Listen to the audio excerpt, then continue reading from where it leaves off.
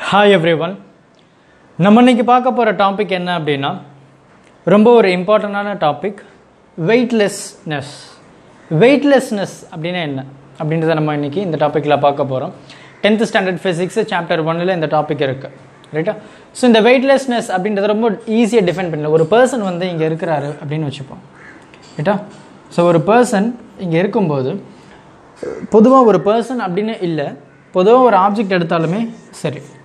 ரைட்டா ஒரு ஆப்ஜெக்ட் எடுத்தோம் அப்படின்னா இந்த ஆப்ஜெக்டில் already two types of forces வந்து இருக்கும். இப்போ ஒரு ஆப்ஜெக்ட் வந்து ரெஸ்ட்டில் இருக்குது அப்படின்னா இதில் எதனா ஃபோர்ஸ் இருக்கா அப்படின்னு உங்களுக்கு கேள்வி கேட்டால் ஃபோர்ஸ் இதில் எதனா அப்ளை ஆகுதா? இந்த ஒரு ஆப்ஜெக்ட் வந்து ரெஸ்ட்டில் இருக்குது ஓகேவா ஸோ ரெஸ்ட்டில் ஒரு சர்ஃபேஸில் ரெஸ்ட்டில் இருக்குது இந்த ஒரு ஆப்ஜெக்ட் இந்த ஆப்ஜெக்டில் எதனா ஒரு ஃபோர்ஸ் ஆக்ட் ஆகுமா?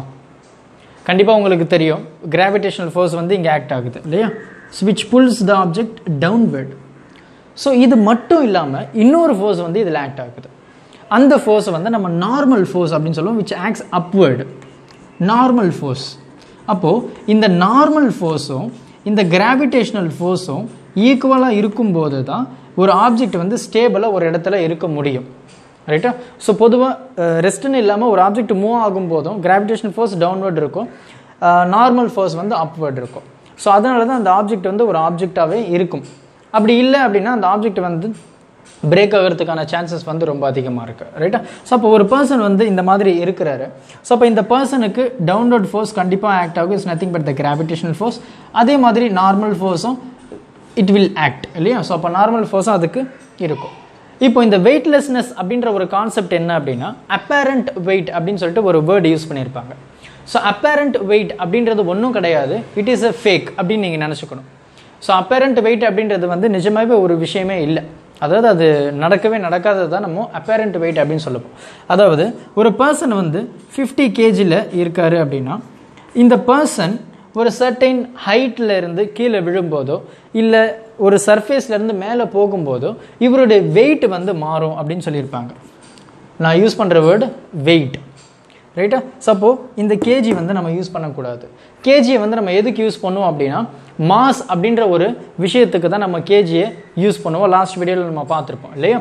ஸோ இந்த கேஜி அப்படின்றது ஒரு ஆப்ஜெக்டினுடைய மாஸ் டிஃபைன் பண்ணுறது which means the quantity of the matter இல்லையா? ஒரு ஆப்ஜெக்டில் எவ்வளோ என்ன விஷயம் இருக்குது அப்படின்றது தான் மாஸ் அப்போது இதை வந்து நம்ம வெயிட்டில் கன்சிடர் பண்ணோம் அப்படின்னா வெயிட் அப்படின்ற ஒரு வேர்டை யூஸ் பண்ணும்போதே அங்கே ஆக்ட் ஆகிறது கிராவிட்டி தான்.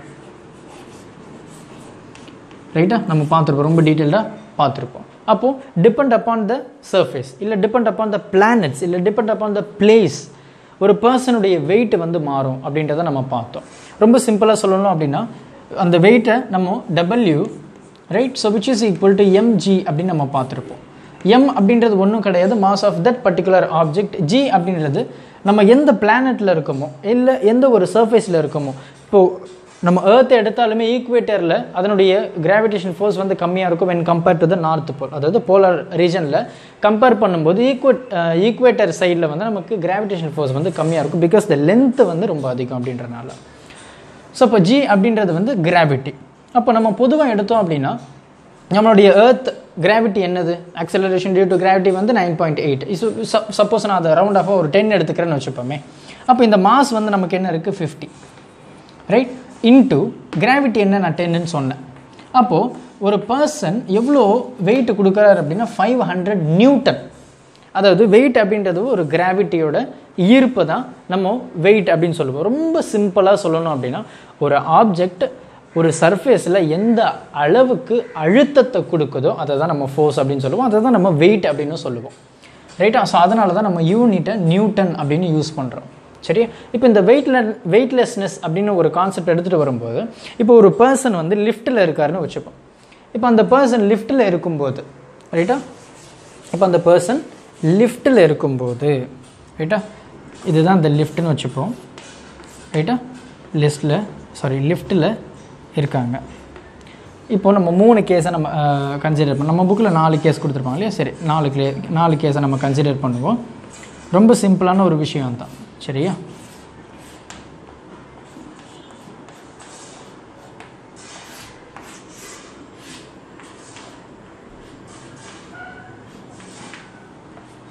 ரைட்டா இது எம்ஜி அப்படியே ஞாபகம் வச்சுக்கோங்க. வெயிட் அப்படின்றத நம்ம எம்ஜின்னு சொல்லுவோம் இல்லையா? பிகாஸ் அந்த கிராவிட்டி வந்து அங்கே ஆக்ட் ஆகுது.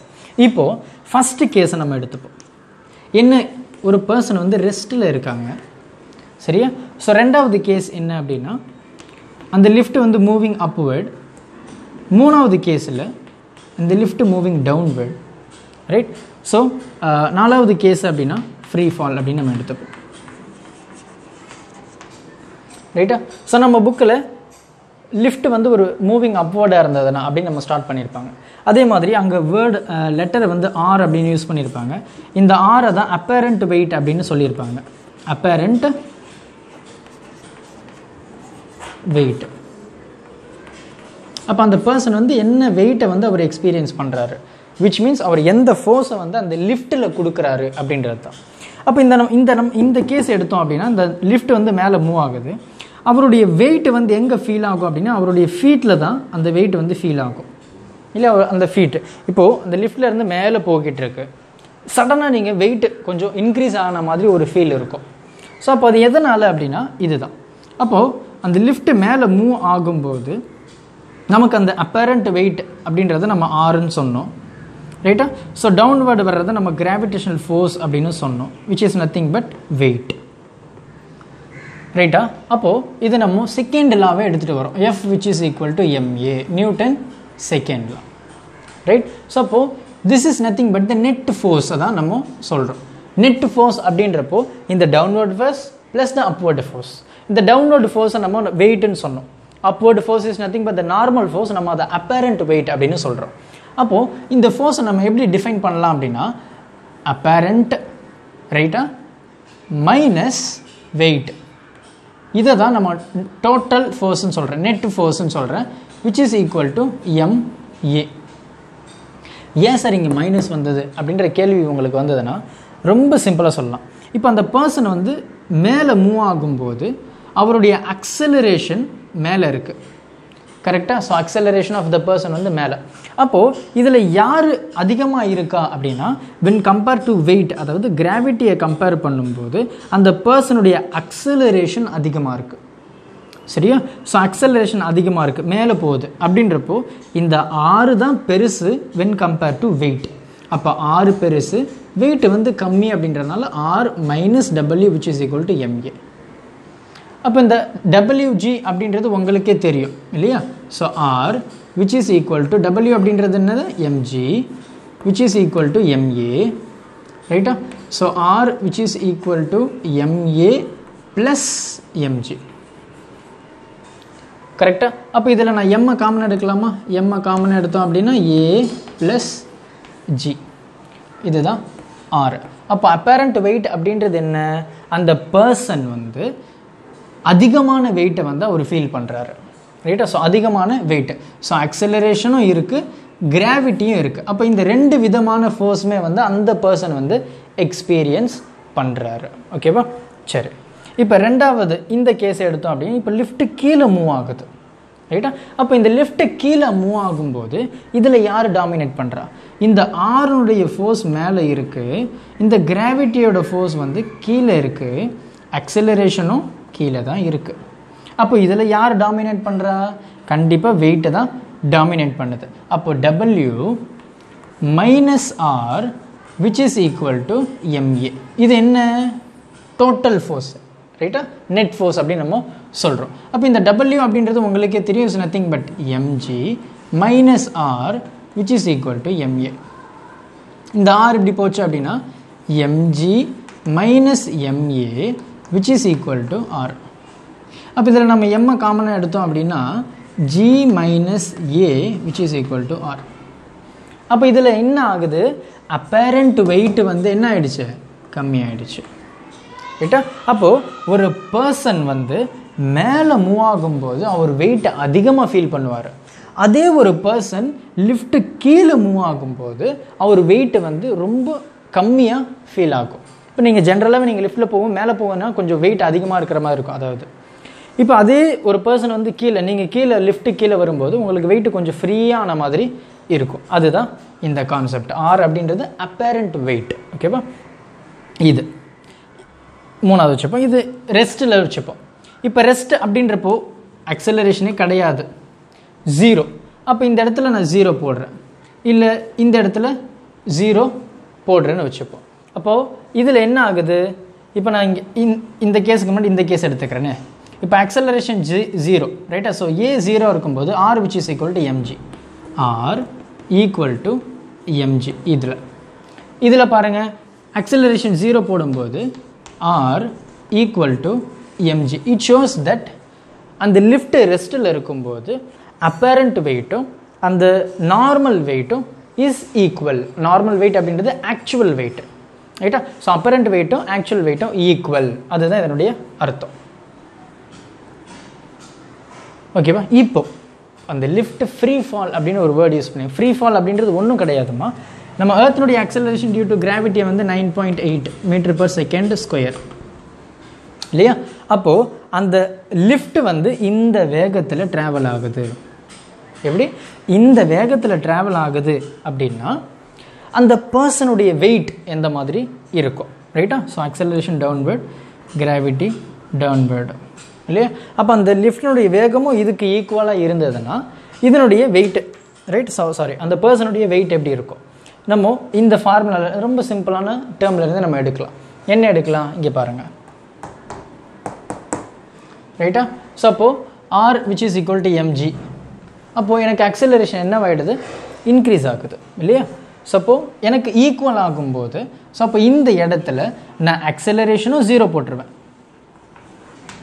ரைட் ஸோ கிராவிட்டியும் என்ன போட்டுருவேன்? ஜீரோ அப்போ எனக்கு R which is equal to zero அப்படின்னு கான்செப்ட் முடிஞ்சிடும் ஏன் ஆர் ஈக்குவல் டு ஜீரோ ஏன்னா அந்த பர்சனுடைய அக்சலரேஷன் நைன் பாயிண்ட் எயிட் இந்த கிராவிட்டியும் நைன் பாயிண்ட் எயிட் அப்படின்றப்போ எனக்கு ரெண்டுமே ஈக்குவல் ஆகும்போது எனக்கு அதனுடைய வேல்யூ அப்பேரண்ட் வெயிட் வந்து எனக்கு ஜீரோ ஆகிடும் விச் மீன்ஸ் எனக்கு இங்கே நைன் பாயிண்ட் எயிட் இங்கே நைன் பாயிண்ட் எயிட் அப்போ nine point eight minus nine point eight zero கரெக்டாக அப்போ ஜீரோ ஆகும்போது ஜீரோ இன்ட்டு எம் ஜீரோ அப்போ ஆர் ஈக்குவல் டு ஜீரோ அதே தான் இந்த இடத்துலையும் பாசிபிலிட்டிஸ் ரைட்டா ஸோ பொறுமையாக பாருங்கள் when it is moving downward இது டவுன்வர்ட் இது மேலே போகிறது இது கன்சிடர் பண்ண முடியாது. ரைட்டா இது கன்சிடர் பண்ணக்கூடாது. ஃப்ரீ ஃபாலில் ஃப்ரீ ஃபால் ரைட்டா அப்போ இந்த கேஸ் தான் எடுப்போம். அப்போ இந்த ரெண்டு கேஸ் எடுக்கும்போது எனக்கு acceleration nine point eight gravity normal acceleration nine point eight அதாவது இது லிஃப்ட் மூவ் ஆகுறது இது கிராவிட்டி ரெண்டுமே ஈக்குவலாக இருக்கும்போது எனக்கு nine point eight minus nine point eight zero அப்போ எம் இன்ட்டு ஜீரோ இப்போ ஒரு பர்சனோட weight hundred thousand whatever it is ரெண்டுமே. Whatever the number is multiplied with zero is equal to zero அப்போ ஆர் ஈக்குவல் டு ஜீரோ புரியுதா? So புரிஞ்சிருக்கும்னு நினைக்கிறேன். So பொறுமையாக பாருங்கள் டவுட்ஸ் எதனா இருந்தது அப்படின்னா கமெண்ட் பண்ணுங்கள் ஸோ ஃபஸ்ட்டு லெசன் கம்ப்ளீட்டாக தரவு பண்ணியாச்சு. எல்லா டாப்பிக்கும் பார்த்துருப்போம். ஸோ இதுக்கப்புறம் வந்து அப்ளிகேஷன்ஸ் சொல்லி கொடுத்துருப்பாங்க. ஸோ அப்ளிகேஷன்ஸ் நீங்கள் பார்த்தாவே புரியும். ரைட்டா ஸோ இந்த டாப்பிக்கு சாரி இந்த லெசனில் எல்லா டாப்பிக்குமே முடிச்சாச்சு ஓகேவா ஸோ இதுக்கப்புறம் ப்ராப்ளம்ஸ் இருக்குது ரைட் ஸோ ப்ராப்ளம் இந்த சென்ஸ் நியூமெரிக்கல் ப்ராப்ளம் இருக்கும் அதுக்கப்புறம் ஹார்ட் கொஷின்ஸ் இருக்கும். நியூமெரிக்கல் ப்ராப்ளமும் ஹார்ட் கொஷின்ஸும் நான் ஆல்ரெடி போஸ்ட் பண்ணிட்டேன். இந்த வீடியோஸை பார்த்துட்டு நீங்கள் ஃபர்தராக ப்ராப்ளம்ஸை பார்க்கணும் அப்படின்னா ப்ராப்ளம்ஸை பார்த்துருங்க. ஸோ ஒரு ஒன் டே கேப் விட்டுட்டு I will start with second lesson ஓகேவா ஸோ பொறுமையாக பாருங்கள் டவுட்ஸ் எதனா இருந்தது அப்படின்னா நமக்கு கமெண்ட் பண்ணுங்கள் right thank you help others with a smile